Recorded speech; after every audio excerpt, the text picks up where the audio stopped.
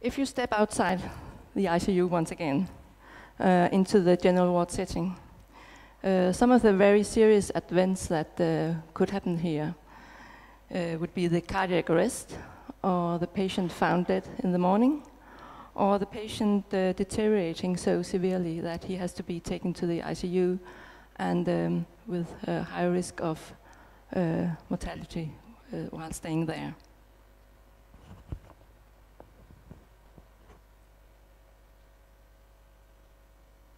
But uh, is this like, oh, is this happening like lightning from a clear sky? Um, I'm sorry to say, no, it's not. Uh, because um, patients send us warning signs. And um, early warning signs of potential cardiac arrest or unexpected death can be found in deviating vital parameters for as early as 8, sometimes 24 or 48 hours ahead of the event. And uh, this is not new knowledge.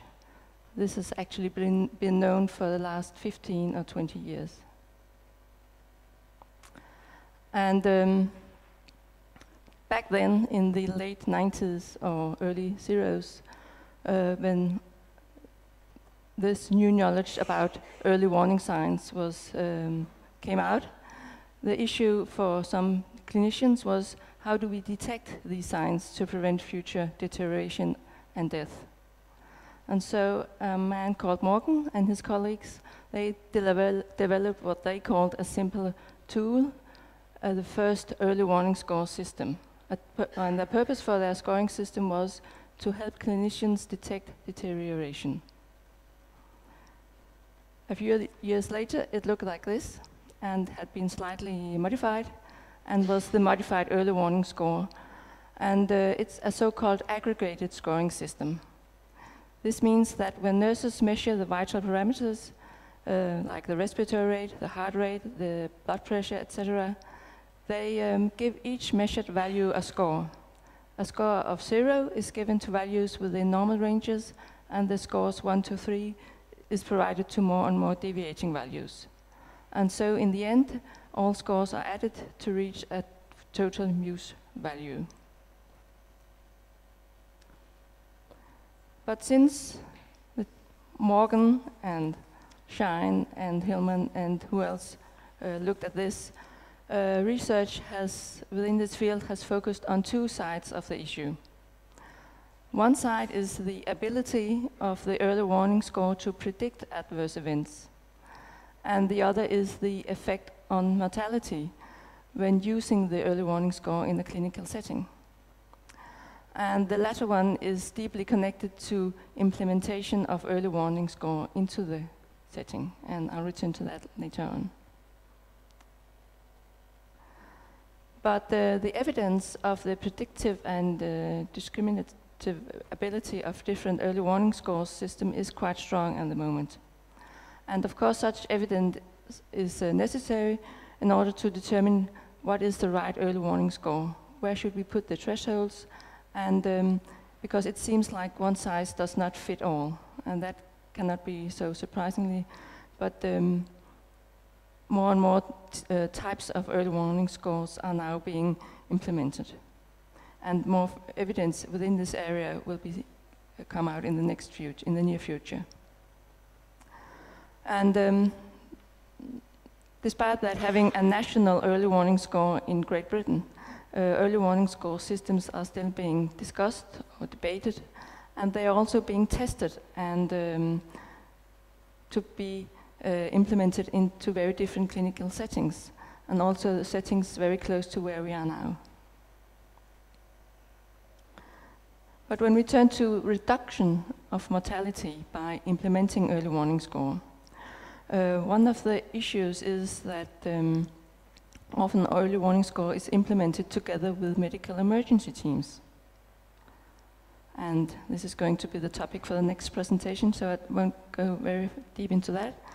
But early warning scoring and medical emergency teams are often implemented as one system called the rapid response system. And this, this makes it very difficult to, um, to evaluate is it the team or is it the early warning score which is having the effect on mortality. Um, at Hvidovre Hospital in 2009, we already had a medical emergency team in place. So, together with um, Jonas Åkeson and the Hvidovre Hospital, we decided to go ahead and do a study on the effect on mortality if we implemented the early warning score. And at that time, we used this um, paper and pen-based uh, recording uh, or the, um, the chart for recordings, and of course now everything is um, more and more uh, electronic uh, and automatically recorded. The intervention focused on optimizing clinical monitoring practice by systematic monitoring. this is not very good, is it? I think this is. I can hear myself.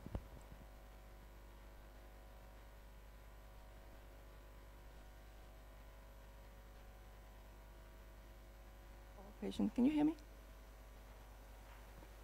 Can you? Okay. Um, and use of modified early warning score every eight hour.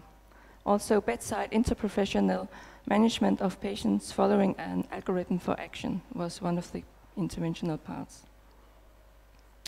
Our aim was to uh, evaluate short and long-term effect of the intervention on unexpected in-hospital mortality. And um, the adjusted incidence of unexpected mortality was based on the total number of patients uh, with unexpected death related to the total patient risk time uh, that patients spent in hospital ward.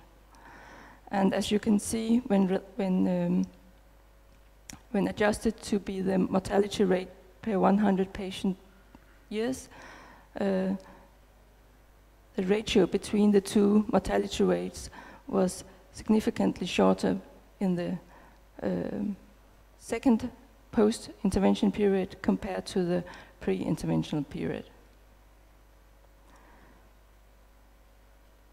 We were very proud to present our study results in this publication. And around the time where we published our paper, there were two systematic reviews on this topic. And both stated that implementation of early warning score system in clinical practice has yet, yet to be fully realized. And this also raised the question, did our patients receive their medicine?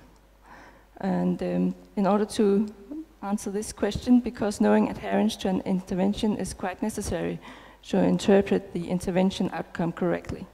So we evaluated how many patients had actually been monitored and uh, scored according to the instruction as part of the intervention. And we found that there was a significant reduction in time intervals between measurements, and this is sh we show here by this Kaplan-Meier, uh, the opposite Kaplan-Meier curve. And time to next bedside measurement of heart rate, systolic blood pressure, and um, body temperature was significantly shorter after than before. And almost the Kaplan-Meier speaks for itself.